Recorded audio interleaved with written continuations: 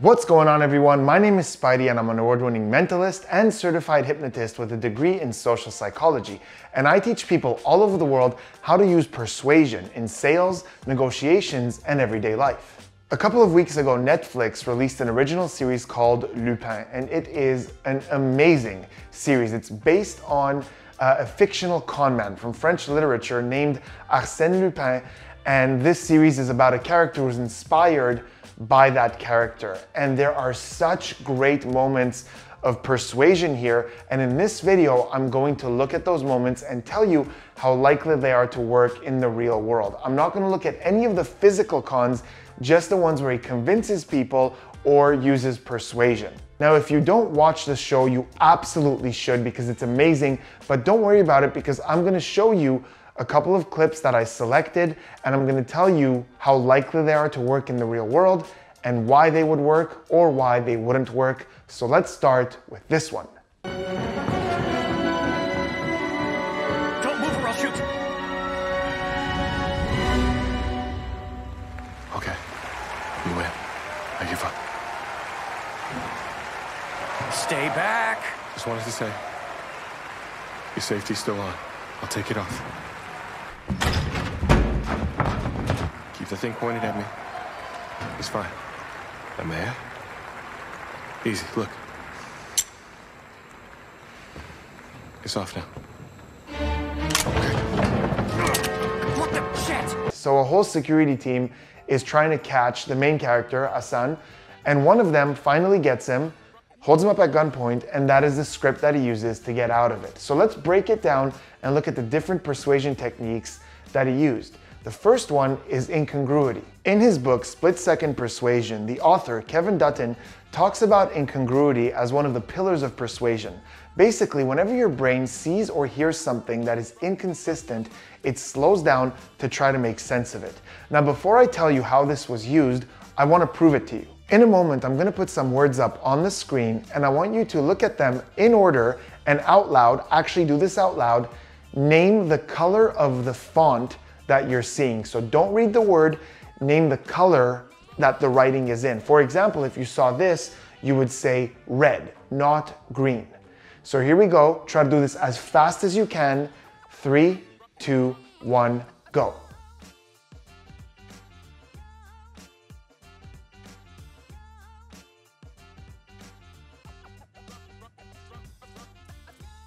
Now we're gonna try it again.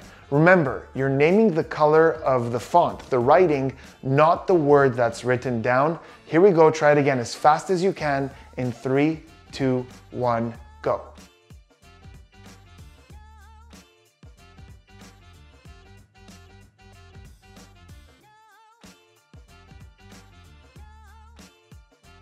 The results on that second one were probably very different for most of you, especially those of you who speak English as a first language.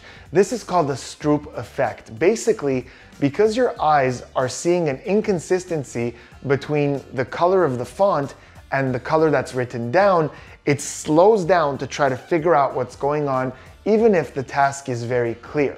But let me know in the comments how you did with that. I'm actually really curious. Did you just stall a little bit or were you absolutely stuck at certain points? Do you think you may have gotten a few of them wrong? Research has actually shown that people with higher intelligence do really bad with this and get stuck really hard because their reflex is to read things as opposed to just look at colors. Now let's go back to Lupin and see how he used this. So he got caught, the guy's holding a gun at him, and normally you would expect someone who's got a gun pointed at them, even physically and vocally, to panic and be like, oh my God, okay, I'll, you know, sort of go to that panic mode. But he does the opposite. His face is calm, his demeanor is calm, he moves very slow, and he speaks with a very soft tone. And he offers to help the guy. Now, that is not only incongruent, but he's also establishing authority. It's been researched again and again, and I'm sure you guys intuitively understand that when we see someone as a figure of authority, it's more likely that we are going to follow what they say. The most famous study on the subject was the Milgram study, but it's been researched thoroughly. And he says, Your safety is on. I'm gonna come turn it off. Keep that thing pointed at me. Notice how he's establishing himself as the authority figure here and he's controlling the frame. And he uses that to get close, turn the safety off, and run away. Of course, it was all a con. He was actually turning the safety on. So it is a wonderful script, it's beautifully written, but would it work in the real world? Well, I think it would have to depend 100% on the security guard and how much training or experience he has. If he's a very experienced security guard who's used to working under pressure, he would have shot him in the legs or something, or he would have said, I'm not kidding, stay where you are, get on your knees. He would have taken control of the situation a lot more effectively. But if he's new at the job, he's a little nervous, he's stressed, he knows the reputation of the con man, I think it could have worked. Now, once again, I'm only commenting on the persuasion element of these clips. I am by no means an expert on law enforcement or firearms. So if we have anybody watching this who is an expert on those things, please, please let us know in the comments is there anything about the security guard that allows you to know how experienced he is? Maybe the type of firearm he's using, maybe the way he's holding it, something about his demeanor.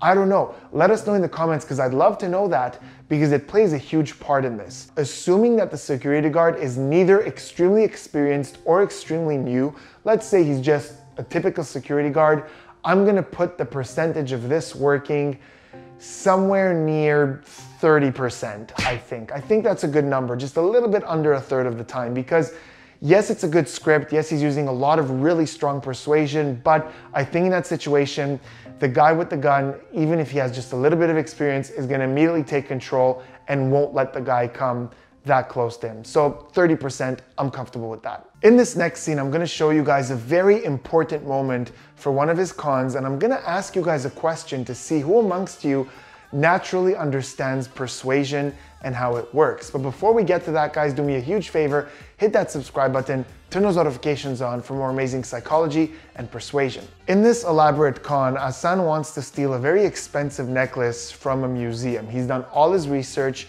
he has a wonderful plan in place, but it all depends on him actually holding the necklace in his hands for a couple of seconds.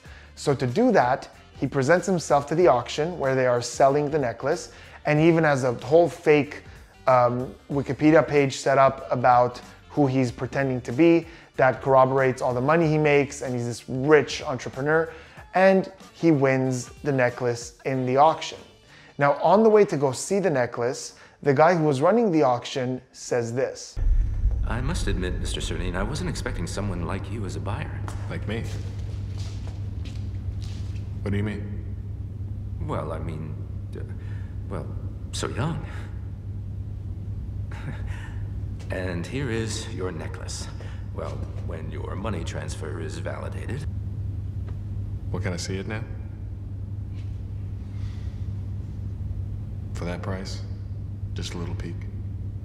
This necklace is my baby now. You get it? Of course. All right. Thank you. It's my pleasure. That is a wonderful little persuasion script. And to tell you why it's so great, we're going to travel back to about 3400 BC to ancient Greece and the philosopher Aristotle, who was the first person ever who wrote about persuasion. And he said that there are four pillars of persuasion. And in that little scene we just saw, the character used all four. So let's look at them and how they were used. The first pillar of persuasion, according to Aristotle, is persuasion through ethos, which means character, who you are, your credibility. Now, in this case, character is already established. He comes into the auction, he's dressed really nice, they look him up, he's got a lot of accomplishments, he's got a lot of money, and also this guy knows as a con man how to really portray that confidence. So character is already established. The second pillar of persuasion is logos, logic, persuading someone through numbers, facts, and reasoning. And right there in the beginning, he says, Can I have a look at the necklace? Well, come on, with what I paid for it. So he's appealing to their logic, saying, like, with that amount of money that I gave you, I think you could stand to let me take a quick look at it. Aristotle's third method of persuasion is pathos. And look at that word, pathos, sympathy, empathy, pathology. Pathos basically means emotions. If you can get someone to emotionally connect with what you're saying, you're more likely to get something out of them. And in this case, it was the next sentence he said. This necklace is my baby now. You understand? So he's really creating an emotional metaphor for that necklace. It's my baby. I feel for this and getting them to sympathize with how important this necklace is to him. Aristotle's fourth pillar of persuasion is kairos, which means the right time. In other words, there are right times to present something to someone that will give you better odds of getting what you want than other times. And the best example I could give you is it would have been a lot easier for me to sell you disinfectants or any sanitary products in the year 2020 than any other year. So the time matters. And in this case, the timing is perfect because he just won the auction. He hasn't paid for the necklace yet, but he just won it and he just wants to take a quick look at it because he's excited. Had he showed up to the museum a week before that and said, I have the intention of bidding on this, it may not have worked as well. I think this has a really, really high chance of working in the real world. I'm gonna go ahead and put it right at 95% because it's almost perfect. Yes, there's a 5% chance that you have someone who really wants to stick to protocol and say, no, that's strictly forbidden, but I think this would work very much most of the time. But now I wanna hear from you guys. I wanna see who amongst you naturally understands how persuasion works. On the way in, the auctioneer said to him, I didn't expect someone like you to win the necklace. And he said, What do you mean, someone like me? And he created this little moment of awkwardness and confrontation. Let me know in the comments why you think he did that. What was he talking about? And why did he choose to bring it up? Let me know what you think. I want to know which of you understands the reason of him doing that and in the next video on this topic, I will answer the question. In this next epic scene, our con man needs to get information from a police officer. Now, there's a bit of context here that's pretty important. In a previous episode, he already proved to this policeman that he had cameras all over his house, he has information about his family, and he even hacked a little smart speaker in his house that the policeman completely destroyed in a moment of frustration. And now he goes up to him in a restaurant to get that information, and here's what happens. Where's your wife, Gabriel? At work. No. She's not there. You leave my family out of this? She should be at work right She now. has nothing to do with this. Tell me about Pellegrini.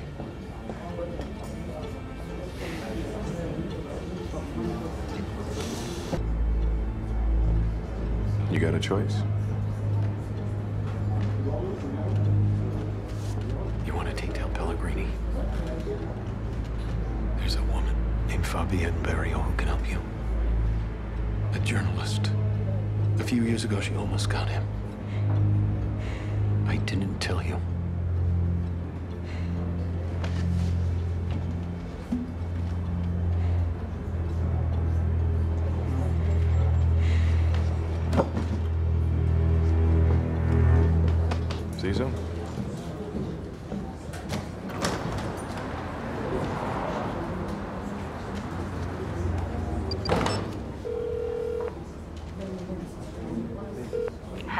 Where are you? At the office? Why? Something wrong? No, nothing. Are you okay? No, it's fine. Sound okay? I just wanted to say I love you. All right. Love you too. Yeah, have a good day. Have a good day. I'll see you tonight.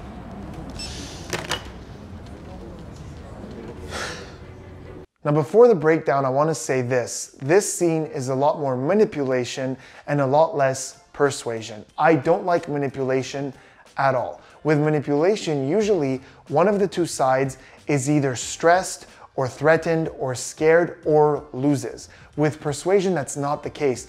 Persuasion is a more effective way of communicating, but there's never any losers. That being said, there's still some great psychology in this scene, so let's dive right in. The first thing we have to look at is context. In this case, the context is so important. One of my favorite books on persuasion is called Pre-suasion by Robert Cialdini, who is one of the global authorities on the subject of influence and persuasion. And by the way, all the books I'm recommending, I will leave links in the description to where you guys get these delivered right to your door. This is a great one. And in here, he talks about the context of persuasion before you even persuade. And one of the things he says is how anything that's threatening gets our attention. And that's when we start going more in towards manipulation.